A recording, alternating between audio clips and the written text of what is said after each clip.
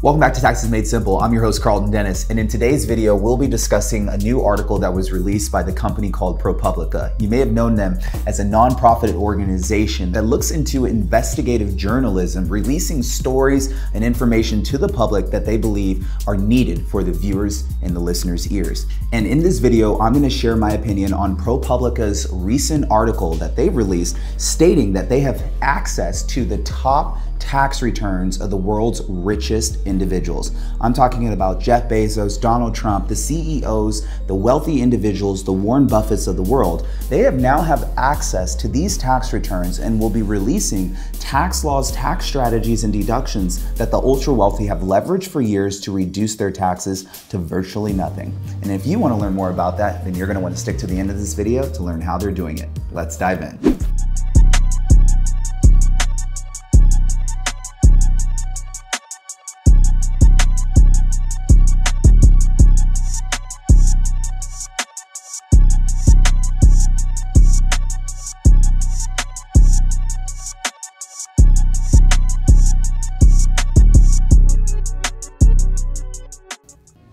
First we have to talk about what ProPublica is. They're a nonprofit newsroom that's based in New York City. Their job is to grab stories and release them to the public. Now, this is not just any story, and part of the reason why it's not is because IRS tax returns are not public information. It is private information. There are social security numbers, EIN numbers, and tons of sensitive business information. Now, an anonymous provider has provided ProPublica this amount of information, the tax data that they are now gonna release over the next couple of months for all viewers and listeners. But I'm gonna give you my personal opinions on some of the articles that they've already released. So let's dive into the one that just came out today, talking about why they're publishing the tax secrets of the top 1%.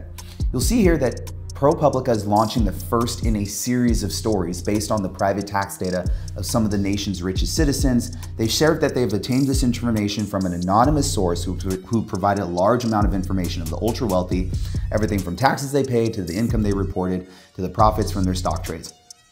Now, ProPublica's goal is in the coming months to release this material and share how the nation's wealthiest individuals have paid roughly 0.00.1% exploiting the structure of the tax code to avoid tax burden borne by ordinary citizens. Many will ask about the ethics of publishing such private data. We are doing so quite selectively and carefully because we believe it serves the public interest in fundamental ways, allowing readers to see patterns that were until now hidden. Hmm. So this statement right here, I have a problem with. And the reason why I have a problem with it is because they're stating that something is hidden. One of the things that I want you guys to know is that the IRS has released tax codes that are extensive. They're extremely long. The tax code is actually over 84,000 pages. But one of the things that you have to realize about the ultra wealthy is when they get to a position where they are making really good money, they start to change things about their life. And one of the things that they will change is they'll change the accountants and they'll change the information that they're obtaining from their accountants. You see, if you are someone who's making $100,000 and you're working with an accountant who only works with people who make $100,000, then you might be only getting $100,000 worth of advice because your accountant is so used to working with people who make in that income bracket. But when you start to push into these higher income brackets like um, Jeff Bezos and um, Elon Musk, you start to upgrade your accountants. Matter of fact, you start to obtain accounting teams, a group of individuals, tax strategists who are out there utilizing their expertise to research the tax law and engineer laws that you can use as you're going about business. So when it says that there, there's been hidden um, uh, tax secrets, there's nothing hidden. The IRS tax code's for everybody. It's just whether or not you're gonna choose to spend your time going through 82,452 pages, right? Elon Musk is not gonna go through those pages and neither is Jeff Bezos, but they're gonna hire teams of people that will go through those tax returns or that will go through those tax documents and tax reports for them. ProPublica later on in the report states that it is now clear that there isn't just one such taxpayer, there are many in multiple industries. We believe that disclosing the identities of billionaires who pay little to no in taxes in years their fortunes grew by billions of dollars will help readers understand the magnitude of the tax advantages uh, the, the ultra rich enjoy. We also believe that disclosure of specific figures about the tax returns of people like Jeff Bezos, Michael Bloomberg, Warren Buffett, and Elon Musk will deepen readers' interest and understanding of this complex and arcane subject. So, I am all for viewers and readers having a deeper interest in understanding of advanced tax law. I'm all for it. Do I believe it should come with the ex- at the expense of Michael Bloomberg or Jeff Bezos or Warren Buffett having their tax returns under a microscope lens without their um, without their approval? Absolutely not. I think that um, in in America, uh, in, in in United States, um, our information should be protected when we file our tax returns. Right? We should trust the IRS system and the federal system that when we complete our returns, that our information is going to be protect, protected unless we choose to share that information. I also, at the same time, agree with ProPublica's point of view that readers do need to understand the magnitude of the tax advantages that the ultra wealthy are receiving. And part of the reason why I believe that is for the same reason I created this channel. Information is out there if you choose to seek information. But when you talk about something with this level of magnitude, you, you really spark a lot of viewers' interest and a lot of viewers' ears. And that's what ProPublica is doing. They're gaining a lot of attention by having access to information. And by giving viewers access to this level of information, their goal is to spark more people to want to go into business or to invest in real estate or to possibly even figure out ways in which they can utilize the tax system and the way it's been set up. Now, one thing I will say, without going any further into this article, is that we have to understand something about lawmakers. Lawmakers constantly focus on increasing income tax. They don't ever really focus on taxing the wealthy. And that's something that we have to take into consideration. The way the US tax code is set up, it's set up to tax you based on the amount of income you earn. The wealthy have figured out how to avoid showing income on their tax returns for years. So if we get into a place where we are now segregating people who have figured out how to become wealthy, that is a completely different discussion than trying to just simply increase the tax rates based on income. So as we go back into the publication, it says, our publication of this tax data comes at a possible pivotal moment in America's long, often contentious debate about the fairness of our tax system. The Biden administration has proposed raising a number of taxes to pay for additional trillions of dollars in government spending. So far, the conversation in Washington has been dominated by an issue long seen as a central on Capitol Hill, whether to increase the top rate from its current level of 37% by a few percentage points.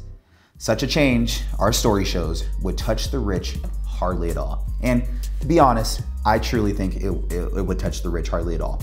If we increase the top tax rates from 37% to 39%, it's only going to tax the people who haven't figured out a way to reduce their taxable income.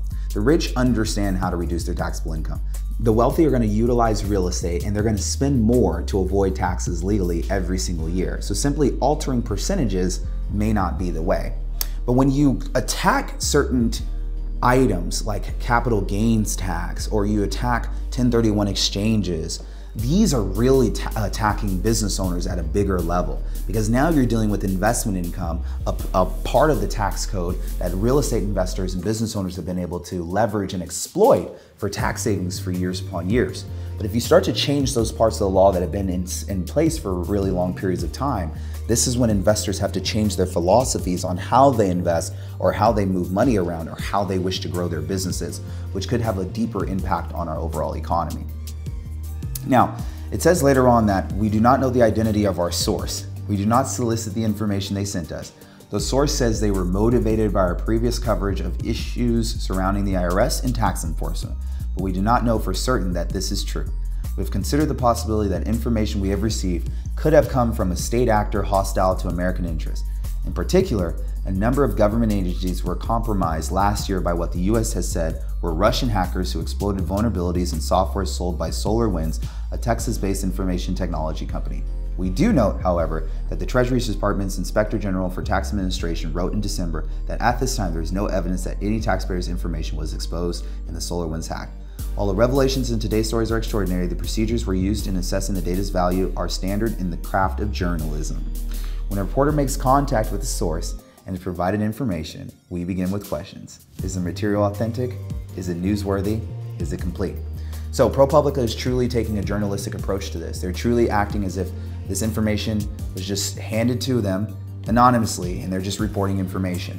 But I just think this is all very funny that this is at the same time that Biden is pushing to change tax rates. So this is information to just keep our eyes on, right? I'm not making any assumptions on what's going on underneath the rug, but what I want to say is is that there will be information that will come out over the next couple of weeks, the next couple of months, exposing how Jeff Bezos, Michael Bloomberg, Warren Buffett, and many others, such as Elon Musk, are leveraging losses, depreciation, tax credits, and loopholes within the IRS tax code to avoid taxes legally.